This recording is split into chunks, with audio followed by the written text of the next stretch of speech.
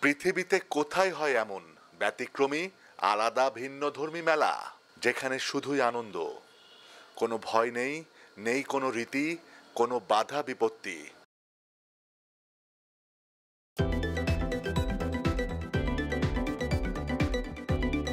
বাদ ভাঙা উৎসব। গ্রামগুলো হয়ে ওঠে এক একটি উৎসবখানা।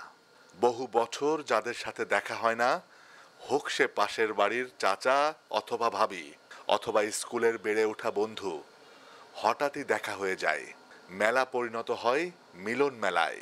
আহ, ভাবতেই অবাক লাগে।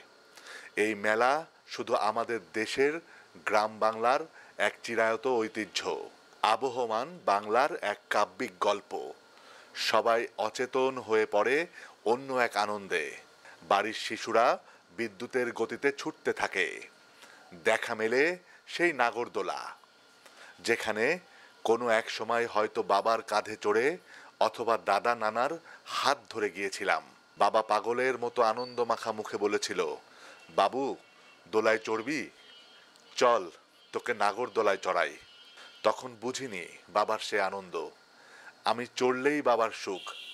যে মেলায় পাওয়া যায় সব রকমের গ্রাম্য খাবার। এই মানুষগুলো সারা বছর কোথায় থাকে কে জানে? মেলা হলেই উড়ে চলে আসে সবাই একসাথে। সারি সারি দোকান সাজিয়ে, রং বেরঙের পসরা সাজিয়ে বসে পড়ে।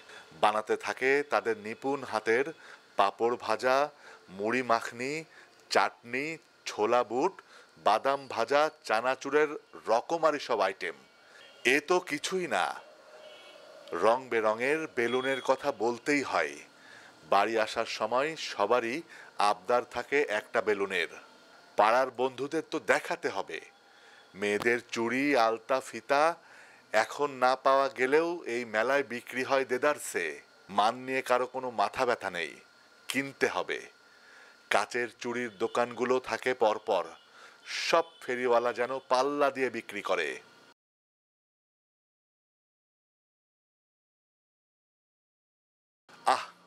বুকের ভিতর কেমন যেন এক ভালো লাগা।